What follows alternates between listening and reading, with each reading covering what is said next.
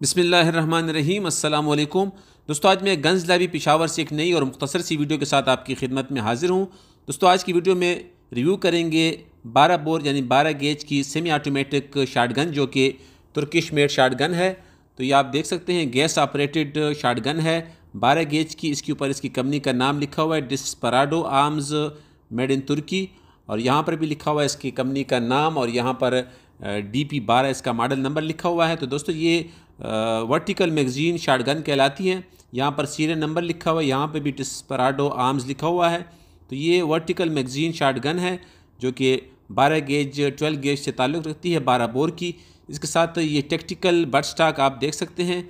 ये आता है और ये आप देख सकते हैं, इसका पिस्टल ग्रिप और ये मैगवेल आप देख सकते हैं। ये पॉलीमर का बना हुआ है और ये ऊपर आप हैंडल देख रहे हैं एम फोर शेप में। ये हैंडल भी हार्ड पॉलीमर का बना हुआ है और इसका हैंड गार्ड जो आप देख रहे हैं, ये एलमिनियम अलाय का बना हुआ है। बाकी तमाम शार्ट गन जो है, इसका फ्रेम एलमिनियम अलाय का बना हुआ है। बैरल स्टेनलेस स्टील की है। तो दोस्तों, ये तीन इंच चैम्बर के साथ आती है। सेम एम फोर की तरह शेप में ये शार्ट गन आप अपने होम सेफ्टी के लिए सेल्फ डिफेंस के लिए रख सकते हैं। सेमी ऑटोमेटिक शार्ट गन है। ये इसकी मैगज़ीन रिलीज़ करने का बटन है।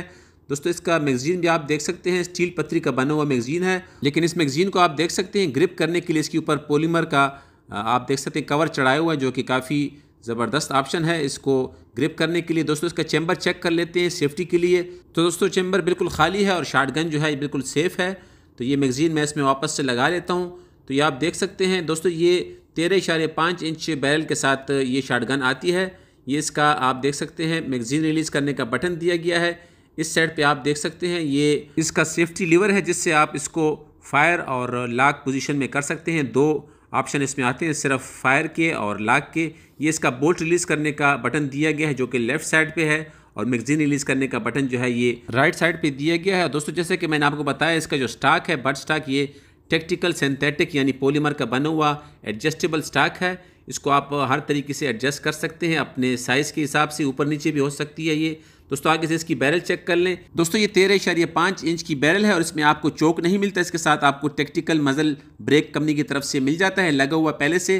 दोस्तों, इसका बट स्टॉक चेक कर सकते हैं। इसके पीछे रबर पैड लगा हुआ है। रिकॉयल कम करने में काफ़ी मदद फराम करता है। और दोस्तों, इसका जो ये हैंडल आप देख रहे हैं, इसी हैंडल में इसका जो रियर साइट है, ये भी दिया गया है, जो कि एडजस्टेबल है। आप देख सकते हैं, ये एडजस्ट हो सकती है रोटरी साइट है।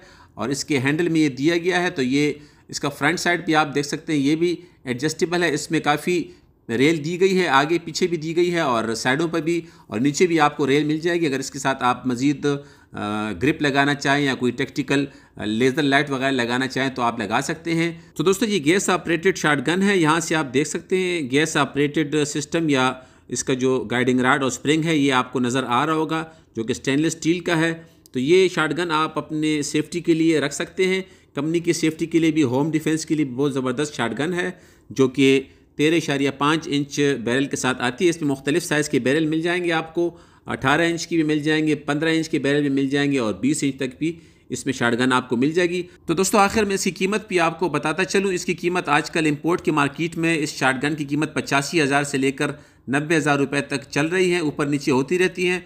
तो ये शार्टगन आपको मिल जाएगी बारह गेज या बारह बोर के लाइसेंस पर। तो दोस्तों, इसका वज़न बताने में भूल गया, इसका वज़न तीन इशारे चार के जी इसका वज़न है। सेमी ऑटोमेटिक है और डिस्पराडो आर्म्स मेड इन तुर्की की बनी हुई शार्टगन है। तो दोस्तों, आज की वीडियो यहीं पे ख़त्म करता हूँ। इस उम्मीद के साथ कि आज की वीडियो आपको पसंद आई होगी। दोस्तों, अगर आज की वीडियो आपको अच्छी लगी हो तो वीडियो को लाइक कर लें। जिन दोस्तों ने अभी तक मेरा चैनल सब्सक्राइब नहीं किया, उनसे गुजारिश है कि मेरे चैनल को सब्सक्राइब कर लें ताकि आइंदे भी ऐसी वीडियोज़ देखने का मौका मिल सके। अब आपसे इजाज़त चाहता हूँ, अपना ख्याल रखिएगा और अपने इस चैनल का भी। अल्लाह हाफिज़।